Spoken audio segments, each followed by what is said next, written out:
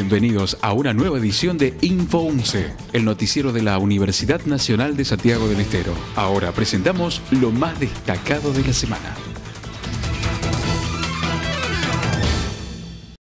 El Programa Regional de Emprendedorismo e Innovación e Ingeniería, a través del Consejo Federal de Decanos de Ingeniería, invita a todos los docentes a participar en el curso de formación de formadores para emprendedores. El mismo se va a llevar a cabo en la sede central de la Universidad Nacional de Santiago del Estero durante la semana del 30 de septiembre.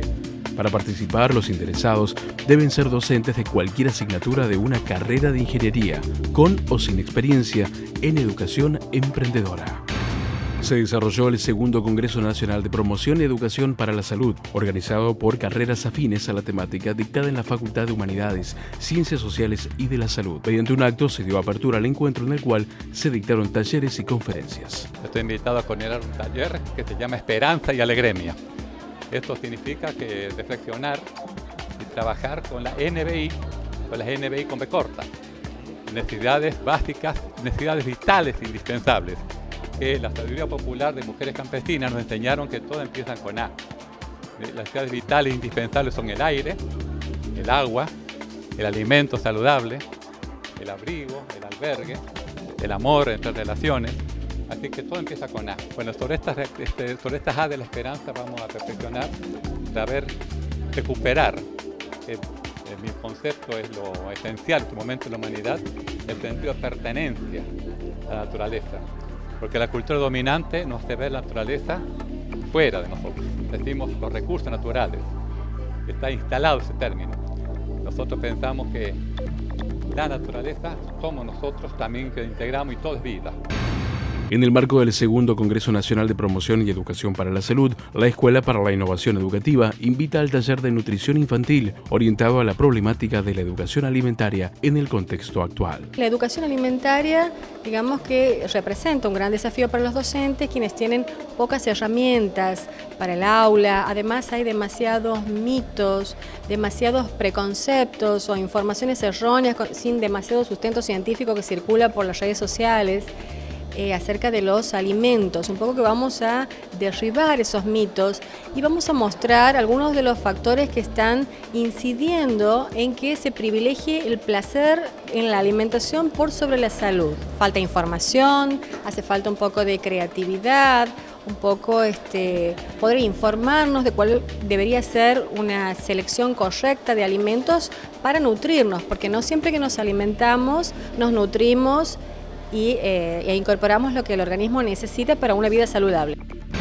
Estudiantes de la UNCE ganaron un proyecto de voluntariado universitario, mediante el cual propusieron un cronograma de actividades recreativas a realizarse durante ocho meses en el Centro Provincial de Salud Infantil.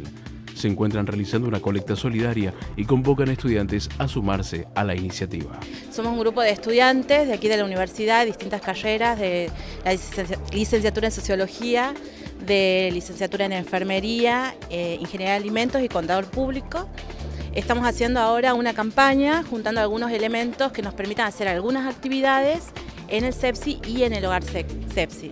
Son actividades eh, recreativas, son distintos talleres, talleres de lectura y pintura, talleres de títeres y teatro, juegos eh, didácticos y cine en, el auditorio, en el salón auditorio del hospital. Son actividades que hemos presentado en la convocatoria de este año del voluntariado universitario del Ministerio de Educación de la Nación y hemos sido uno, eh, nuestro proyecto es uno de los, de los seleccionados. Aprovecho para invitar a todos los compañeros de la universidad que, estén interesados en participar, pueden sumarse, eh, contactándonos a nuestra página de Facebook o a nuestra eh, dirección de correo electrónico quedó inaugurada la sede académico-administrativa de la Facultad de Humanidades, Ciencias Sociales y de la Salud en un predio cercano a la sede central de la universidad. En el mismo se instalaron dos aulas, el laboratorio de antropología y las oficinas administrativas de la unidad académica. Hemos visto crecer a nuestra facultad día a día con nuevas carreras y ofertas académicas de todo tipo que buscan satisfacer las expectativas y requerimientos expresados por nuestra sociedad. No desconocemos que el espacio es un recurso escaso en las grandes instituciones, especialmente en las que, como la universidad, se ha hecho realidad la inclusión social y la matrícula se ha multiplicado. Esta es un logro de la democracia que lo reafirmamos y no renegamos de él. Es nuestro deseo, por cierto, continuar multiplicando. Pero también sostenemos que la inclusión requiere ampliar lugares y reforzar e innovar el equipamiento para conseguir que nuestros objetivos educativos pedagógicos se cumplan adecuadamente. La UNCE será sede de la colecta de sangre que promueve el Centro Provincial de Sangre de la provincia de Santiago del Estero en instituciones educativas. Los donantes voluntarios deberán presentarse el viernes 4 de octubre con los requisitos de tener entre 18 y 65 años, superar los 50 kilos de peso y poseer buenas condiciones de salud. La iniciativa corresponde a la estrategia de la cartera sanitaria en avanzar hacia un modelo de donación voluntaria y habitual para los ciudadanos de la provincia de Santiago del Estero. Donar sangre no implica riesgo de salud para los voluntarios.